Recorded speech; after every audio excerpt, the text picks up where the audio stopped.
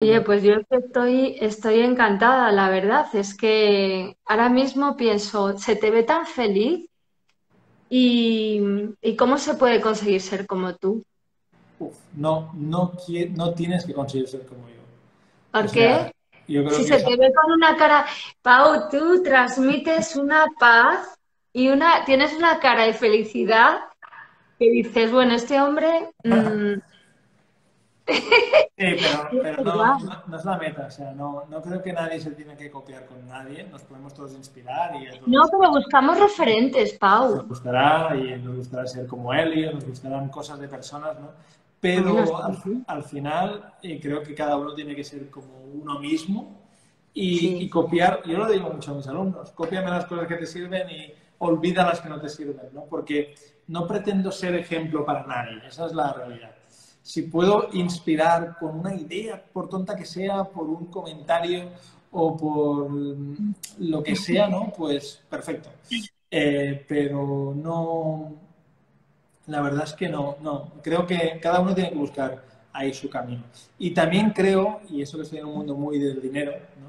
que el dinero tiene que ser una herramienta para conseguir cosas, pero el dinero en sí mismo tampoco da la felicidad, ¿no? Hay mucha gente que está muy obsesionada con ganar dinero y con conservar el máximo de dinero y al final terminan gastando su tiempo para ganar más dinero y entran ahí en un bucle muy perjudicial.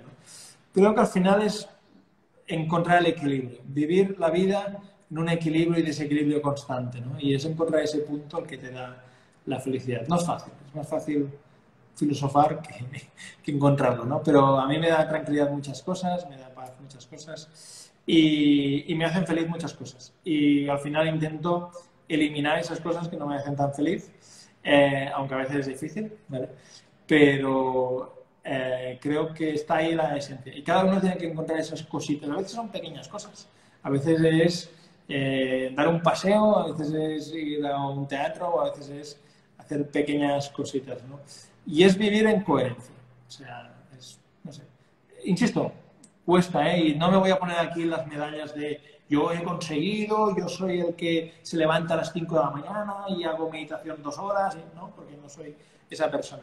Simplemente creo que tal y como eres y tal y como sientes, pues tienes que hacer cositas en tu día a día para decir, hoy, hoy sí.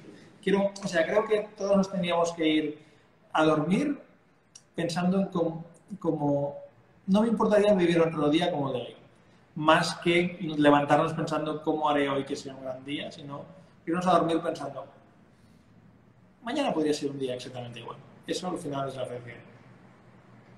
¿Sabes lo que ha dicho Eli? Que no lo has leído, pero no te he querido interrumpir, que parece que estás cinco años más joven. ¡Wow! ¡Qué piropos me lanzáis por aquí, eh!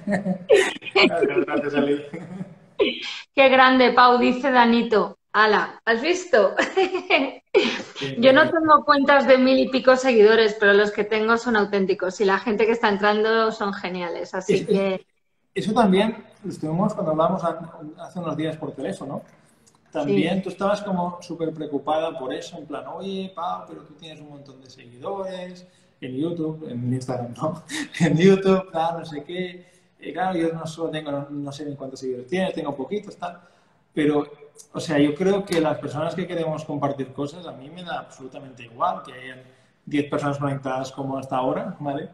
Eh, que haya como más gente. O sea, si al final de esta conversación hay un punto de lucidez que a alguien le puede servir, pues está bien empleado este tiempo. Además que me lo paso súper bien hablando contigo. O sea que a muchas personas no gracias. ven, ven como son muy estratégicos, ¿no? Cuando hacen estas cosas, es decir, oye, a ver, ¿cuántos seguidores tienen estos? A ver el ratio de conversión, que irán a mi web, que se registrarán, que verán el webinar, que se apuntarán a mi formación, tal. Ah, no, si no tienes 20.000, ya no me interesa. ¿vale? No, o sea, no, no va de esto. Evidentemente, cuando tienes un negocio, una facturación que hacer tal, pues entiendo que son los, lo que el mundo nos vende, ¿no? Pero cuando tienes esa libertad o esa tranquilidad o esa felicidad que decías antes, pues tienes esa posibilidad de decir, oye, estamos aquí charlando un ratito, hay 10 personas viéndonos, perfecto, y ya está. Y no hay la presión de decir, eh, no, no, si no tienes tantos seguidores, a mí no me busques porque yo soy no sé quién. Porque... Yo creo que es otro, otro rollo. O sea, que está chulo. Que podamos compartir por aquí un rato.